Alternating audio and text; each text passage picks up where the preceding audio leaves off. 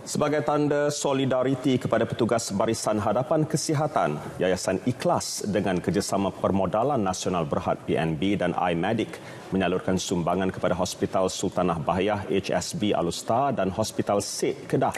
5,000 set peralatan pelindungan diri PPE, 2,000 set pelitup separuh muka dan 2,000 set pelindung muka melibatkan peruntukan RM198,000. Sumbangan kepada HSB disampaikan pengerusi Yayasan Ikhlas Profesor Dr. Zainul Rashid Zainuddin petang semalam. Kesemua peralatan dibuat oleh ibu tunggal dan mereka yang kehilangan pekerjaan sepanjang tempoh perintah kawalan pergerakan. Sehingga kini Yayasan Ikhlas telah membelanjakan 3.24 juta ringgit bagi menghulurkan sumbangan peralatan kepada Jabatan Kesihatan di Selangor, Sabah, Sarawak, Negeri Sembilan, Pulau Pinang dan Kedah. Ini berupa merupakan uh, sumbangan daripada orang ramai dan khususnya pada kali ini adalah sumbangan pada Pemodalan Nasional Berhad yang telah menyumbang sebanyak 1.44 juta ringgit.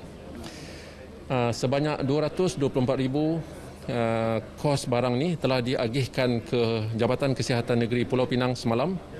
Hari ini kita mengagihkan hampir 200 ribu jumlahnya ke negeri Kedah iaitu Hospital Sultanah Bahyah dan kemudian Hospital Sik dan bakinya akan kita agihkan lagi ke Jabatan Kesihatan Negeri Kelantan, Jabatan Kesihatan Negeri Johor dan juga negeri Perak. Keprihatinan Yayasan Ikhlas amat dihargai kerana peralatan yang disumbangkan sangat diperlukan pihak hospital semua item-item ni adalah kritikal yang memang kita perlukan di hospital. Jadi kita sangat-sangat menghargai uh, usaha uh, NGO seperti Yayasan Ikhlas dan juga Perbadanan Nasional uh, Berhad dalam uh, menyumbang uh, item-item ini kepada hospital membuatkan kita rasa dihargai at least macam uh, front ender tidak keseorangan lah kita dapat support daripada uh, orang lain juga dalam memerangi wabak COVID-19 ni lah. Dalam pada itu, Yayasan Ikhlas mengalu-alukan lebih banyak sumbangan daripada rakyat Malaysia untuk disalurkan kepada petugas Barisan Hadapan Kesihatan.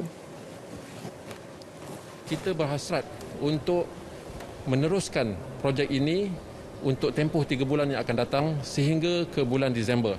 Walaupun kadar kes baru COVID semakin menurun perlahan-lahan, tetapi wabak ini masih jauh daripada kesudahan.